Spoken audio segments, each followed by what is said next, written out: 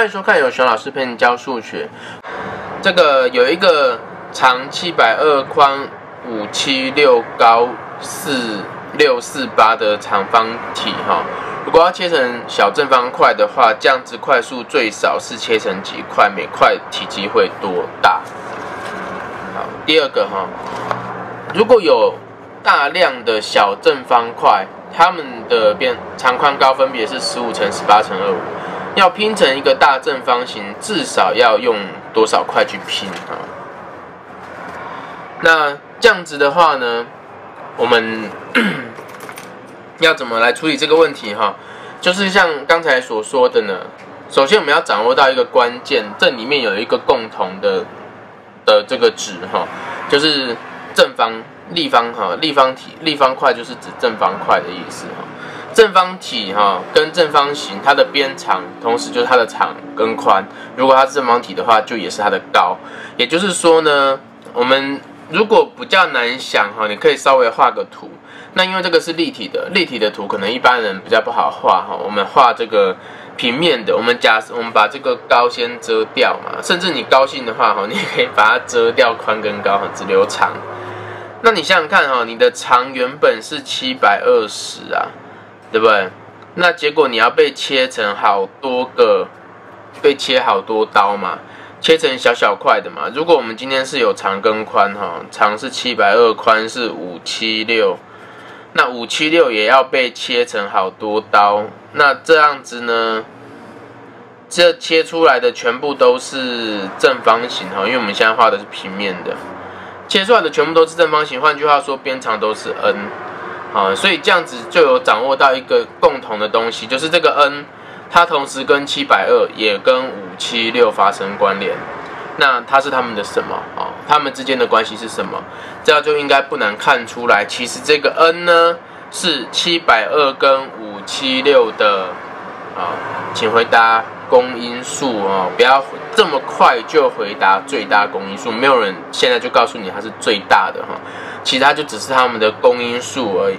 那我们要先，我们要去找到这个公因数呢？当然，我们是从最大公因数去找。为什么啊？因为公所有的公因数都是最大公因数的因数，是因为这样子我们才去找最大公因数，所以并不是题目一拿来赶快就最大公因数，然后这个就答案哦，不见得这个就答案。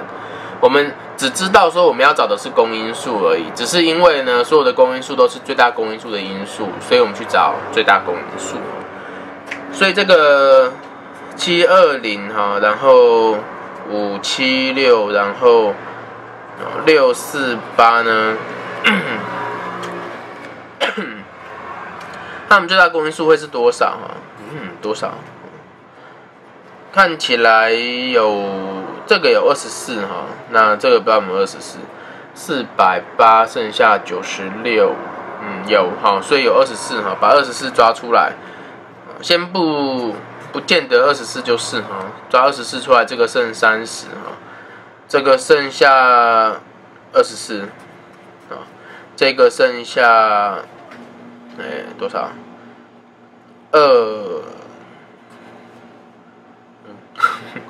啊，二十四剩下一八八，多少七？他们的抓二五三，啊，十九，哎，十八九，好，抓完了。所以他们的最大公因数是七十二哈。那他这里来看，他问的到底是不是七十二？他我们要回答的到底是什么？他说，如果块数最少，怎么样？块数会最少，就是把每一块切的尽量大块嘛。所以呢，如果快速最少的话，就是的确边长在最大公因数的时候，快速会最少。所以这个 n 等于七十二，那这个时候切成多少块啊？切成多少块呢？其实并不是答七十二哈，是答长会被切成十份，宽被切成八份，高被切成九份，所以其实是七百二十哈，乘起来，长、宽、高哈，全部乘起来。所以第一个答案是七百二十，第二个答案，那这个时候每一块体积多大呢？啊，七十二的三次方啊，这个我就不算出来了。好，我要写单位哈，立方公分。好，它原本就没有单位，那立方单位哈，立方单位。好看下一题，同样的，我们再来看看哈，它要凑成一个大正方形哈，其实应该是大正方体啦哈，大正方体啊，题目写不太好。那如果我们以平面的角度来看哈，假如说只有长跟宽，长是五十五，宽是十八哈，凑成大正方体的话。那也就是说，这个这里是十五，呃，这里是十五哈，这个是十八哈。那我有好多个十五，对不对？然后也有好多个十八，十八、十八、十八、十五、十五、十五，凑出来，结果这个。这个很大的这个是一个正方正方形，所以它的边长是 n。好，那这样应该就不难看出来了哈。这个 n 其实是十五跟十八的公倍数哈。同样的，我们到目前为止只能够推论它是公倍数，并不能够直接就说它就是最小公倍数哈。但是我们还是要求最小公倍数，因为啊，所有的公倍数都是最小公倍数的倍数，所以。求十五、十八、二五的最小公倍数是多少？那这个是五平方啦，这个一个三一个五哈，这个是三三二啦，所以它其实是二乘以三乘三乘以五平方哈，所以多少啊？九乘五十哦，四百五。所以这一个正方体呢，其实是。啊，边长是四百五，边长是四百五。他问哦，最少要用哦，我们还不知道是不是四百五，要先看题目。他问最少要用多少块哈？那既然要用用的块数最少，也就代表这个正方体要尽量小，所以就是这个边长要尽量小哈，所以的确是四百五了哈。这个最小公倍数哈。那这个时候呢，你的长呢，长是十五，却要组到边长有四百五的话啊。那你会需要几个？好，呃，两个是三十嘛，三十乘以十五，所以是三三十个。那宽呢？十八呢？哈，十八五个是九十哈，再五个二十五个哈。那所以高就是十八个。所以到底要几块哈？长这边需会由十三十段组成，宽会由二十五段组成，高会由十八段组成哈。所以。就像切豆腐的时候这样子哦，长宽高整个并起来会有要乘起来。哇哦，不小。十，呃，这个九再接过来，这里就四百五嘛，四百五再乘三十，是吧？一，一二，四百五乘的是三十，一三五零零。嗯零三五零零，好。那来看，啊，所以这个就是我们上次介绍到这个啊解公因数、公倍数的应用问题哈。重点其实不在于这些题目啦，当然大部分的题型我们都会介绍完，但是重点其实不是在介绍这个题型哈，是要介绍这个思考的流程。你要从题目里面先去找一个。会跟你看到这些数字发生关联的东西，那个东西呢，可能会同时是他们的因数，或同时是他们的倍数啊。去循着这个模式去思考，那你就会知道这一题其实是要怎么算。那你一定要很清楚哈，你找出来，就算你找到了这个数字，它也不见得就是答案。所以你去求啊，你假如为了要求公因数而求最大公因数，求出来还要去想想看，那答案要的是什么？好，那我们上一次有提到过，最忌讳的就是题目一抓来，马上就短除法，哈，马上就想要找一个这个公因数或公倍数，那其实他根本不知道为什么要求这个，哈，那就会很容易一直错，除非把全部的题型都记下来。那在这里顺便提一下，哈，有关于练习这件事情，像我刚刚有讲到，哈，我们还是会把大部分的题型都介绍完，可是，在你很清楚自己为什么这样想的情况下，你去做这些练习呢，这个。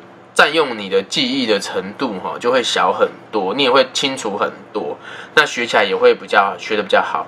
如果今天你是其实你没有很清楚他在做什么，那写很多题目对你来说看起来这些题目都一样哈，然后就就会变得这些题目就变得很无聊又莫名其妙的会一直错，那写起来就会很不舒服。所以而且这样学习效果明显就会差很多。所以并不是说做题目一定好或不好啦，哎，在一到一千之中哈，想想想看哈，有几个二的倍数，有几个三的倍数，有几个是二的倍数也是三的倍数的啊，有几个是是二的倍数或是三的倍数的。那这几个题目呢，先来想想看。好，那在学生呃把这个题目抄下来练习的时候哈，那照惯例我们来闲聊一下哈。那这个我们前面介绍过了呃各种职业哈，那也许有一些学生会想要当这个发明家哈。我们来介今天我们来先介介绍哈，聊一下哈这个最近常常在电视上看听到的这个专利权哈，到底专利是为什么而存在？有一些人呢会觉得。呃，专利是在保护那一些大企业哈，其实专利权的拥有者不见得是大企业啦。专利权的呃，目前为止它的这个呃思想哦，主要有两种，一种是这个从欧洲、美国哈，他们这些比较早有在进行科学研究的国家开始哈，他们把专利看成像著作一样哈，认为这个专利是有一点天授人权的概念，就是你创作了。这个权利就是你的，你发明的这个权利就是你的哈。那所以，呃，把专利权的法定化哈，把专利权入法，只是把这一种这个天赋的权利，你创作本来就该属于你的的这种权利明文规范而已。好，这是一种思想，也就是说，它的专利呢，是因为啊，发明人本身就有的权利。别人本来就不应该模仿他，这是一种思想。好，那另外一种想法呢，是把专利权视为一种特许。这个我们刚刚讲哈，这种想法，他把专利当成是一个天赋的权利哈，就是所有发明的人，他都对自己的发明物拥有权利。那另外一种想法，把专利当成是特许。什么意思呢？我们在生活中哈，本来就一直在模仿各种东西。好，比如说你在路边听到一个笑话，你就把它拿去跟别人讲了，你也没有在管他的权利嘛，对不对？哈，那个把，也许你听到讲，你听到的这个笑话当初讲的人是他的发明者，你也没有在管啊，你就把它拿去跟别人讲。那在什么情况下啊，政府呢会特许这个发明人一种别人不准模仿他的权利？我们都任意的在模仿各种东西哈，但是在某一种特别的情况下，政府会去特许这个人发明者，让别人不准去模仿他啊。那别他所以这样子的有专利权的人哈，跟其他的发明者，就像我刚刚讲这个发明一个笑话被模仿走的发明者，他有一个很大的差别，好，就是他的他的权利被政府特许了。那什么情况下他会被特许呢？就是他公开。他在申请的时候呢，他去申请这个专利的时候，他就会同时把它公开出来。把它公开出来的话，别人就能模仿。如果他从发明了这个东西从来都不公开，别人就无从模仿起。好，那这样子就不称为专利了。比如说今天哈，假如说我们的这个哦熊老师哈，是他其实原本不是长这样哈。刚来到我们家的时候，他是被我那个。呃，有有熊老师的妈妈哈，做了许多的改造，应该看得出来哈，做了许多的改造，然后变成现在这样子的。所以你们现在看到它这样哦，如果你们觉得这样子这只熊实在是有够可爱哈，于是你也打算把你家的无尾熊做成这样子的改造，比如说把它的鼻子换掉之类的，虽然这是意外哈，但是如果你决定这样做的话呢，哦，那对我来讲就是一种损失啦，因为我。让你发现原来这样子的无尾熊比较可爱哈，所以当初我发明了这只无尾熊之后，我可以干脆不要给别人知道，好，我不要让别人知道。当然，如果你是像这样子的艺术创作，你不可能在不给别人的知道不给别人知道的情况下获利嘛。可是如果其实是一些呃商业产品哈，你里面的秘方啊，里面的这个制作方式哈，里面的材料你是可以不让别人知道的。那你如果不让别人知道，别人就无从模仿起，这个时候你就会独霸这个市场。好，这就是那个我们常常去吃牛肉面，他们都有这个独家的汤头的配方嘛，他就会独霸这个市场。但是呢，这个世界就减少了很多很好吃的牛肉汤哦，牛肉面的汤，因为我们都不知道好吃的牛肉面的汤是怎么做的。那当然，你也有可能去想办法，这个我们叫做逆向工程哈，去破解。反过来，你去吃他的牛肉面，你去破解它到底加了什么。当然，这个是可以可以做的。好，可是这个也是花时间。有一些专利，比如说药品，好，药品的专利，你一般人大概很难去逆向破解它哈。所以我们会希望发明人赶快公布他到底怎么做的，好让别人可以去模仿。这样子的情况下呢，政府就会给他一种特许，就是如果你把它公布出来，那我保证，如果有人模仿你，他就要付你钱。啊，这个是。一种那个政府哦，他用公权力，为什么那个有很多人哈，他就会觉得说，为什么政府要帮大企业维护他们的这个专利权哈，然后去告那些盗版的哈？为什么一般人不可以盗版这些软体？因为如果今天发明人都不把他的发明拿出来公开，他就默默的，比如说，如果今天我是微软啊，我也不给你软体，我就说你假如需要用这个文书处理连线到我的系统里面。那在我运作都在我的系统里面哈，默默的运作，我也不告诉你怎么做的。你把你要打的字打完，我就好再再派邮差寄给你一张打好的纸之类的，你就都不会知道这个软体是怎么运作的了。好，那当然它会损失它的商业价值啊，没有错。可是这个对全世界的损失可能更大，就是我们的这个科学的进展哦，发明的进展会更缓慢。所以政府为了啊，不只是一个国家哈，应该说各国政府。为了希望让发明的进展更快呢，他们会希望发明人公开，所以这个两种专利权的思想哈，这个是比较现代的。后来哈，后来的这个专利权的想法比较集中在这一点上面哈，就不像以前哈，以前会觉得发明人本来就有权利，别人就不该模仿。现在的会觉得说呢，政府允许专利权，其实是为了。这个社会的意公益哈，公共的利益，所以他允许有这个特许权利，为了要吸引发明人把发明公开出来，当然也是为了要鼓励发明哈，那也为了要吸引发明人把发明公开出来，所以呢，专利权才会有年限，就是说，如果说是天赋的，那其实这个权利应该永远都是你的哈，可是其实不是哈，因为它其实是一个政府特许的权利哈，目前大部分的角度都是这样想。所以它是有年限的，所以这个呃，这个是专利权的部分哈。刚刚有讲到说，如果今天你有一个发明，那你也可以不要拿去申请专利哈。那不要拿去申请专利的话呢，如果有人模冒模仿你，你就变成没有那个权利。但是它就会有一个好处，就是你不申请专利，别人就根本不知道怎么做好，所以你可以独霸市场，独霸很久，这个叫做商业机密。商业机密哈，所以商业机密也是也是一个发明保存的模式哈。我今天有一项发明，我也可以不要公开出来，可是它就会有好处跟坏处。那专利权是啊，去申请专利是另外一种，就是让大家知道说专利的运作是怎么样了。那至于说政府到底要把专利权的权限设得多长，然后到底要多么积极的这个。呃，帮助专利权的人哈去打击盗版的这个我没有意见啊，见仁见智啊。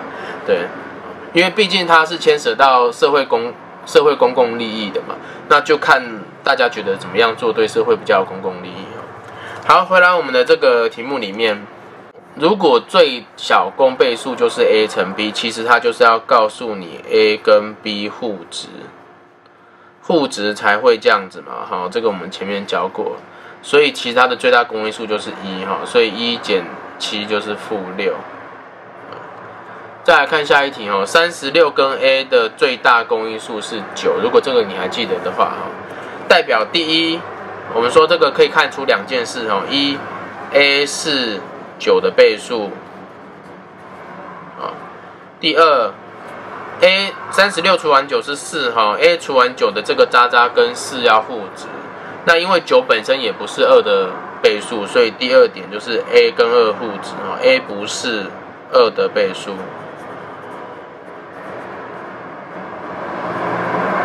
所以九的倍数，但不是二的倍数哈，超过五十的四十五开始哈，然后下一个是六十三，下一个是八十一，对吗？很少。那这个是这一题。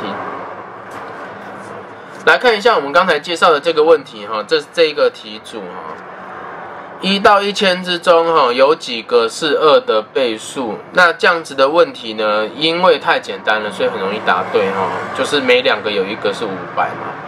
那下一题哈，有几个是三的倍数哈？每三个有一个哈，所以是这个一千除以三是三三三余一，这个一不要哈，所以答案是三三三。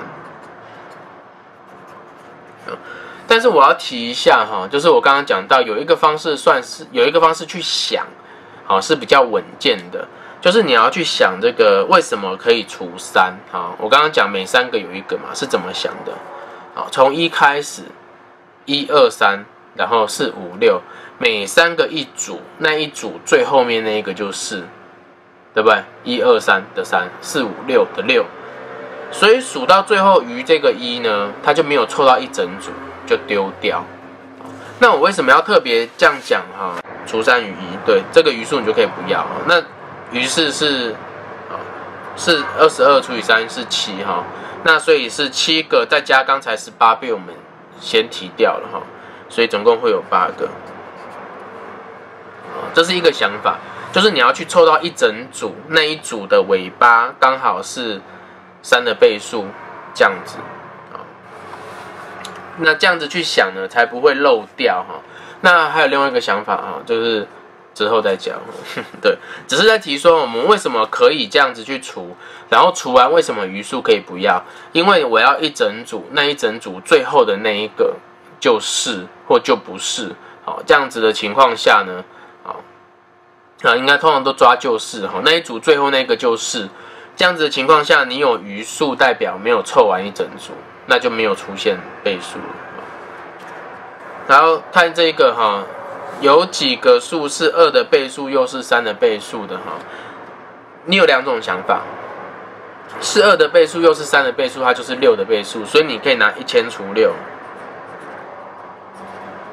是一六六哈，余四余四不要，好，那。另外一个想法呢，其实因为二跟三互质，所以在二里面也是每三个一个三的倍数，二四六啊，然后八十十二啊，然后这个十四哎十二，然后十四十六十八，对不对？所以也是每三个一个三的倍数哈，所以你也可以拿五百除三，我们刚刚是拿一千除六嘛，你也可以拿五百除三，五百除三还是一六六。余二，你也可以怎么想？哎，其实三的倍数里面也是每两个一个偶数啊，所以你也可以拿三三三除二哈，那除出来还是一六六啊，余一，所以最后这边答案就是一六六，可以吗？看下一个哈，有几个是二的倍数或是三的倍数啊？这部分教了一个跟这个单元有点没关系的事情，就是。二的倍数呢？你用刚才这个方式去算哈，二的倍数算完了五百个，三的倍数算完有三三三个。那你如果在要回答这一题的时候，你把它们加在一起哈，就太大了。为什么呢？因为二的倍数里面有二的倍数又三的倍数的，三的倍数里面也有二的倍数又三的倍数的，所以这个东西你重复算了一次，对不对？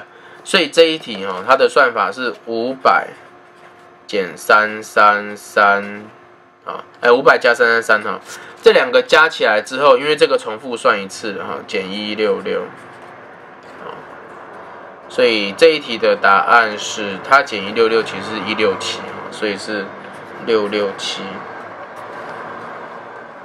这样可以吗？啊，就有点像那个啊国小哈，不知道你们有没有看过那种题目。这里有一个扇形，然后这里有一个扇形，哈，这里有一个扇形，有没有？然后要求这个这一块哈，或求整个正方形，它就是两个扇形减掉叠在一起的部分嘛，这样子的想法。那如果是要问，好，我们继续往下看哦。如果是要问是二的倍数，但不是三的倍数的，就是把五百扣掉这个，对不对？二的倍数里面是三的倍数的部分一百六十六个，所以五百扣一六六了，这个是三三四。好，下一题是十二的倍数，但不是十五的倍数的哈。那跟刚才的想法一样，你先去算十二的倍数，然后去算十五的倍数，然后去算什么？是十二又是十五的倍数。那这个十二的倍数在一千之中呢？一千除十二是多少？自己没除过。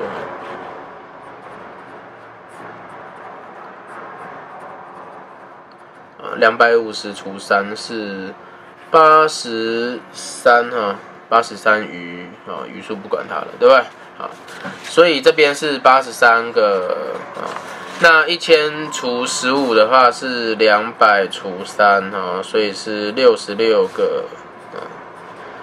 好，那接着哈，我们要去扣掉这个十二又十二的倍数又是十五的倍数哈，不能够直接拿它除十五啊，因为十二的倍数并不是每十五个就一个十五的倍数，其实是每五个就一个哈，因为它们两个是有公因数的，所以十二的倍数又是十五的倍数，它其实是十二和十五的公倍数，所以它其实是呃十二跟十五最小公倍数的倍数。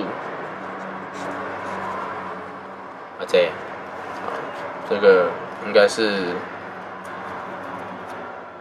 嗯嗯，三十六十啊。六十，那所以它是六十的倍数哈，所以是十六个，啊，